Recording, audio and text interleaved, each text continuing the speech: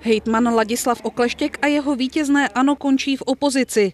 Po více než týdnu intenzivních povolebních jednání podepsali zástupci koalice Piráti a starostové, spojenců Koalice pro Olomoucký kraj a ODS společné memorandum o vytvoření nové vládnoucí koalice v Olomouckém kraji. Novým hejtmanem se stane lídr koalice Piráti a starostové Josef Suchánek. Piráti a starostové by měli kromě hejtmana obsadit ještě další tři místa v 11 člené krajské radě.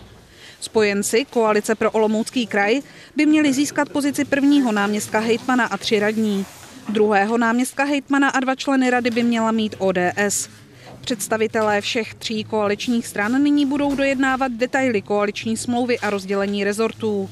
Nová koalice bude mít v 55 členém krajském zastupitelstvu většinu 32 hlasů. Piráti a starostové totiž získali 13 mandátů, spojenci koalice pro Olomoucký kraj 12 a ODS 7.